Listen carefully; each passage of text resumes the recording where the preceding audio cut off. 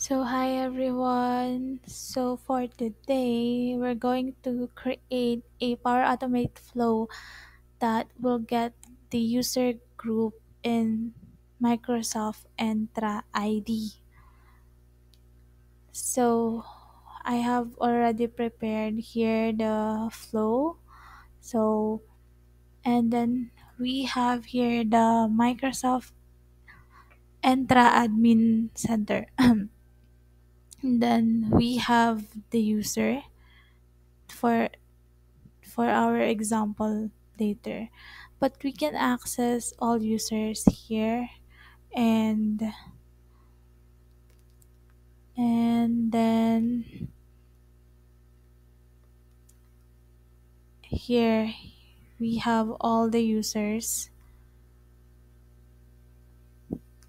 And so once we click here we can see the user information. Later we will be needing the the information of the user especially the object id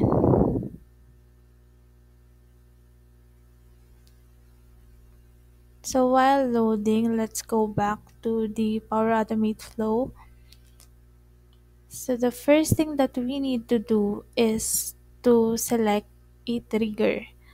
So for this one we're going to select or yeah select the manual trigger a flow. And then let's add input. This is where we will add the user id to get the group associated with them. So let's add user id and then leave it as is. And the next step is click the new step and then create a um, add initialize variable. This is where we will be putting the final result. Initial initial. Initialize variable. So for the name let's add var group. Var user group.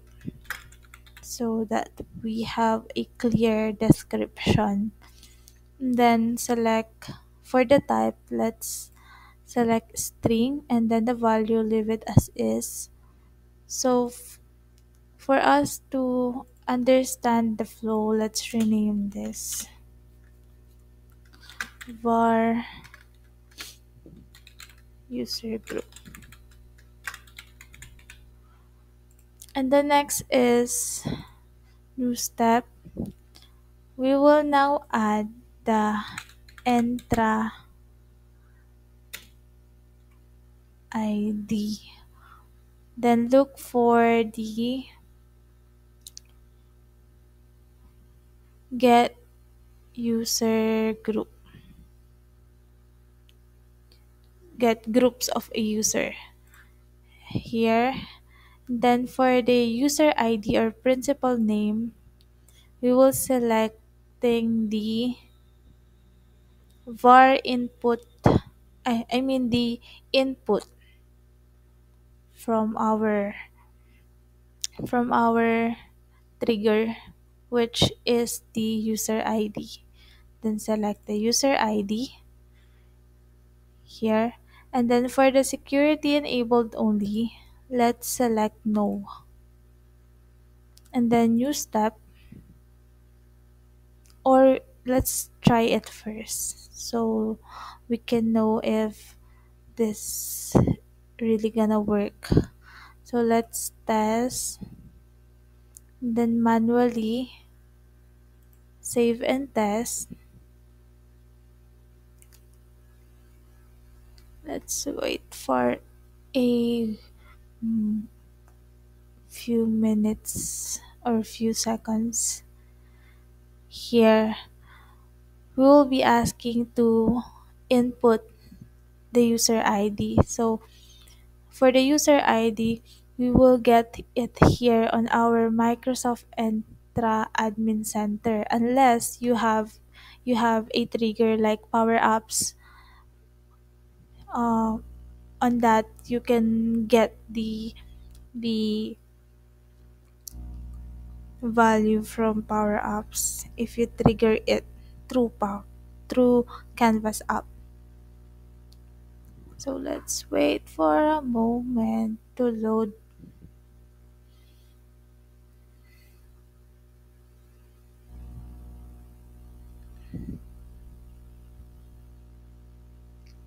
Or just click user. Let's try to click the user, all users.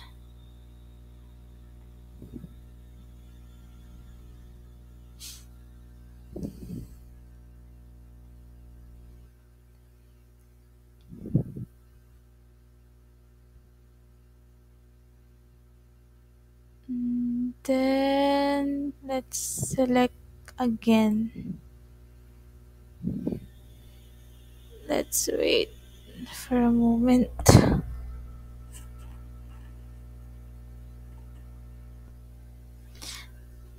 Here on the object ID, we'll just copy this one and then paste it here. Then click click run flow. Then let's wait to run the flow. Click done.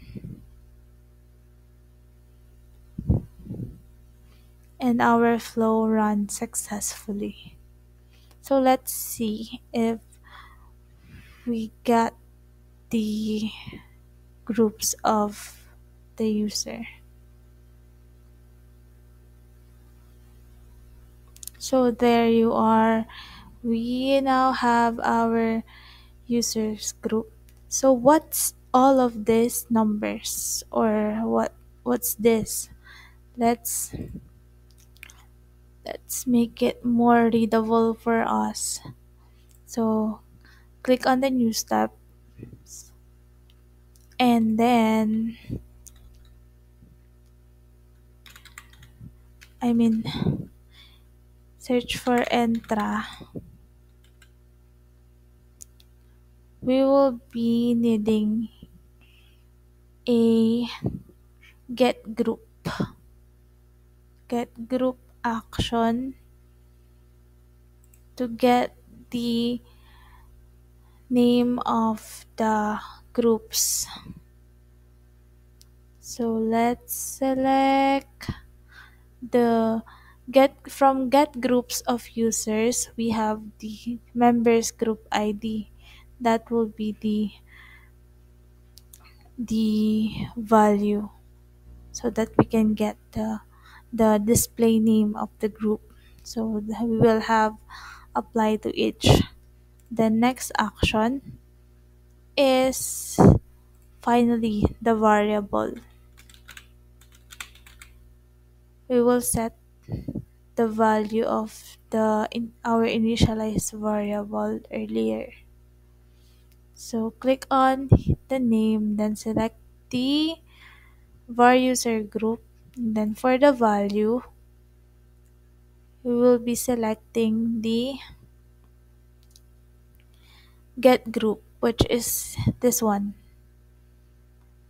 The get group display name, which is the display name of the group. So let's try and test it.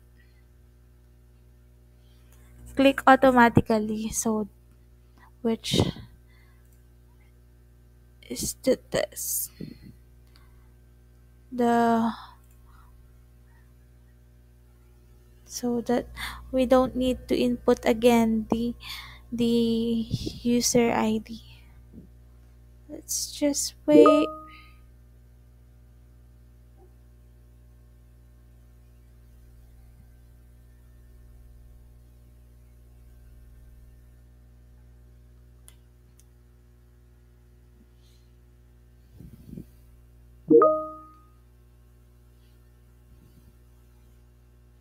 Our flow ran successfully. Yay! Let's wait to load this one so that we can view the result.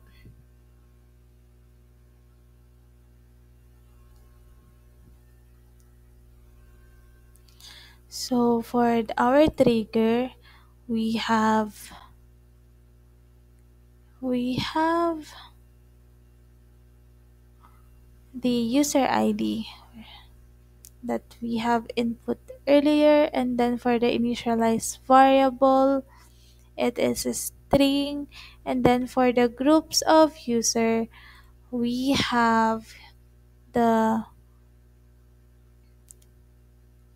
the user uh, the group ID of the user and then this is the list of the groups of the user. And then we have the apply to each. This is where our groups is located. So now we have the display name. We have to view that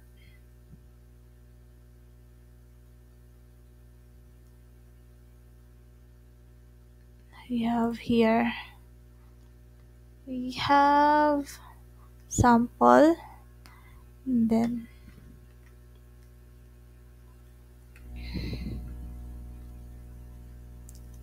we have five we we got five groups. So the next one is sales. And another one.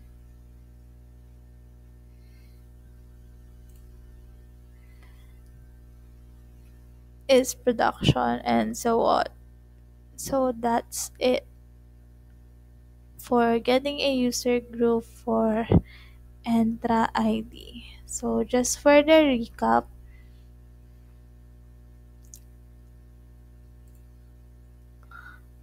the first thing that you want that you will do is to select a trigger and then add a variable and then get the group of user.